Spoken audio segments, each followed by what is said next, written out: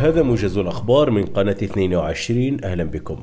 أكدت محكمة الجزائر العاصمة أمس الثلاثاء تبرئة سجين الرأي السابق لطفي غوري وطلبت النيابة العامة لدى محكمة الجزائر العاصمة في الرابع عشر من نوفمبر أي عند الاستئناف تأكيد الحكم بالبراءة الصادر عن المحكمة الابتدائية في حق سجين الرأي السابق لطفي غوري. كما تم تأجيل محاكمة سجين الرأي عبد القادر سيماني إلى العاشر من ديسمبر 2023 أمام المحكمة الجنائية الابتدائية بالبليدة. للتذكير فإن قاضي التحقيق بمحكمة العفرون ولاية البليدة قرر في الخامس عشر من نوفمبر وضع عبد القادر سليماني رهنا اعتقال بعد أن أوقفته عناصر الدرك الوطني يوم السابع من نوفمبر. كما تم تفتيش منزله ويواجه اتهامات خطيرة استنادا إلى المادة 87 مكرر من قانون العقوبات ويرتبط ذلك بمنشوراته على الفيسبوك.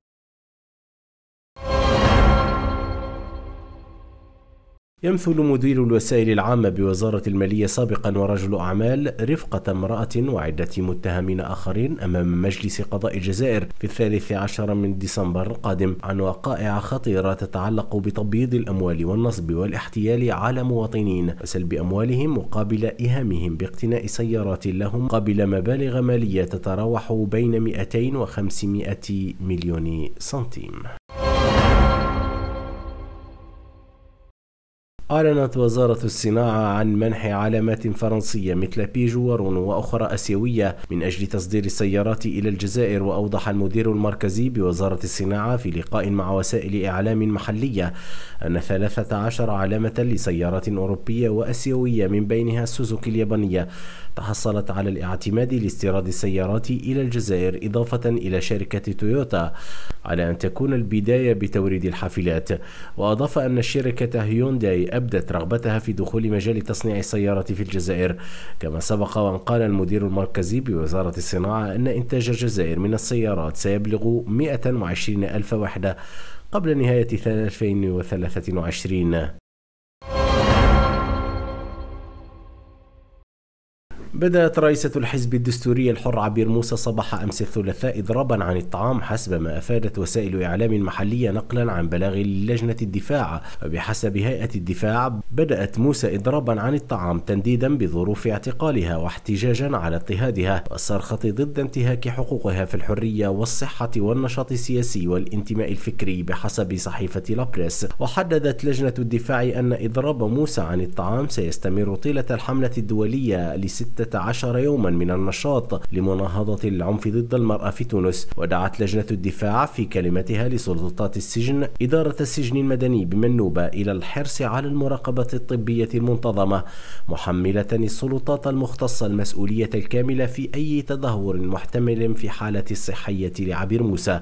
ويذكر أن عبير موسى اعتقلت في الثالث من أكتوبر الماضي أمام مديرية النظام بالقصر الرئاسي بقرطاج بينما كانت تستعد لتقديم شكوى ضد نشر مراسم تنظم الانتخابات المحلية.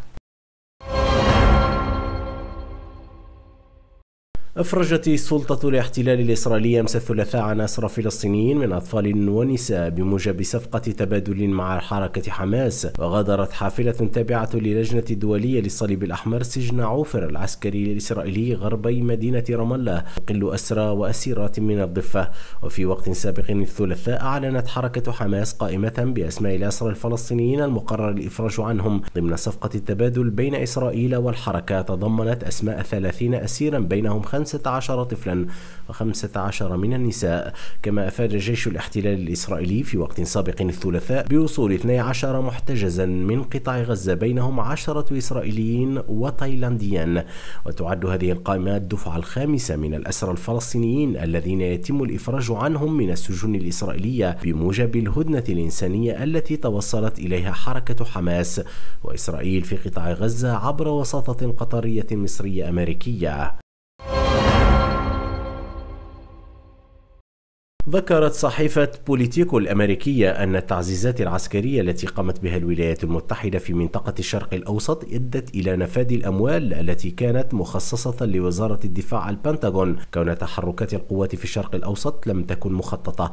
وأضافت الصحيفة أن البنتاغون اضطر إلى سحب الأموال من حسابات العمليات والصيانة الحالية. لافتة أن الجيش الأمريكي يعمل مثل بقية الحكومة الفيدرالية من خلال تدابير التمويل المؤقت التي تجمد الإنفاق عند الحدود التي بلغها العام السابق وكان الرئيس الأمريكي جو بايدن قد وقع الموافقة على هذه الأجزاء المؤقتة خلال نوفمبر الجاري لتجنب الإغلاق الحكومي وحتى يتمكن نواب الكونغرس من الاتفاق على مشروع قانون للإنفاق العام بأكمله.